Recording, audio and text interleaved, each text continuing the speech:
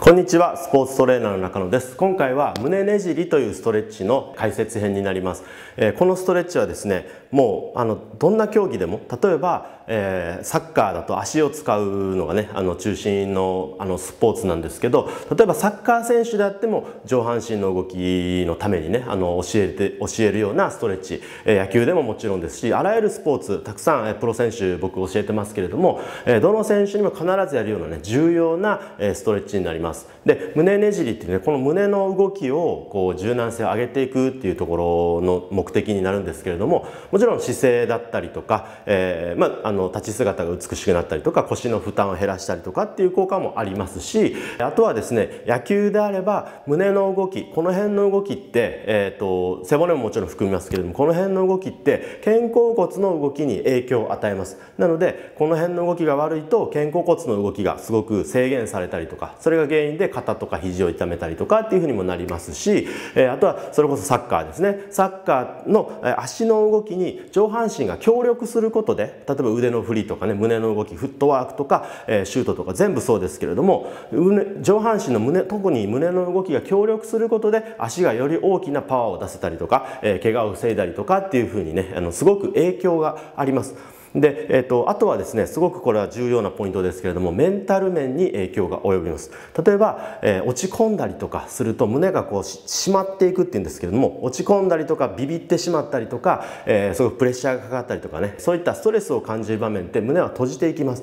でそれと同時に閉じるだけじゃなくて硬くなっていくのでその状態がずっと続いてしまうとそれこそさっきみたいに肩とか腰とか足に影響が出てしまうのであのこれをね日頃からしっかりやっておくことでそういった状態も、え、解消していくことができますし予防していくこともできますのでぜひ取り入れてみてください。ではやり方ですね。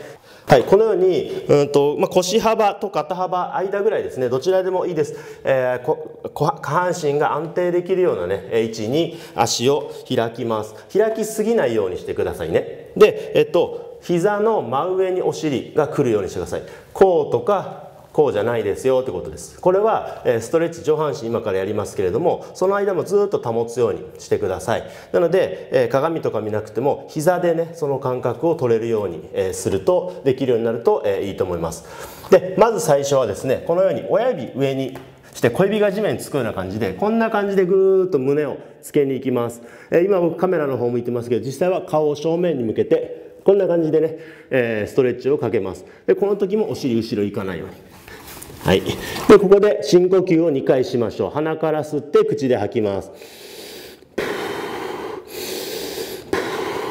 はい。で、言い忘れましたけど、つま先はこうじゃなくてこうしといてくださいね。こうするとちょっと理のところに力みが出てしまいやすいので、こうしといてください。寝かしといてください。はい。で、えー、戻りますけれども、胸を伸ばしたら、今度は、右手を左のねあの脇の下を通してこんな感じで右側の頭がね、え地面につくように真横にね、え手を伸ばしてください。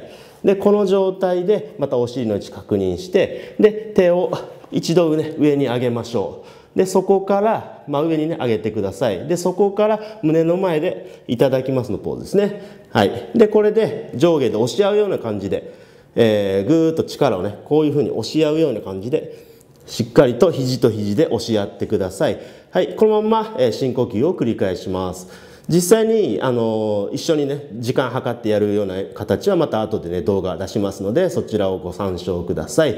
はい、で反対もですねで戻ってで反対もこんな感じで、はい、一度真上に向けてでそこからこうですね押し合ってください。はい、これで深呼吸をしていってくださいね。はい。で、戻ります。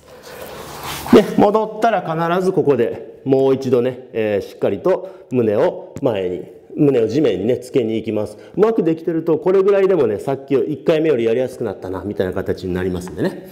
はい、これが一番オーソドックスなやり方です。で、次のパターンとしては、えっと、さっきこういうふうにね、まま、真横に指を、えー、腕を出したんですけれども今度はこれを斜め下に入れて後頭部まで入れましょう。後頭部まで入れてこんな感じで。手は支えていただいてで斜め下にいた後頭部を入れます。でこの状態で深呼吸です。はい。反対も。斜め下に入れて後頭部を入れて手で少しま支えます。はい。でこんな感じね。で深呼吸です。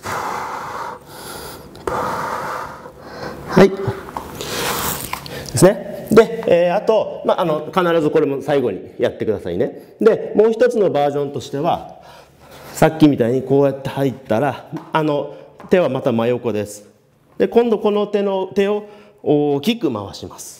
大きく回して真上よりさらに向こうまでね、えー、手を伸ばして回すようにしましょう。はい。内回しと外回し。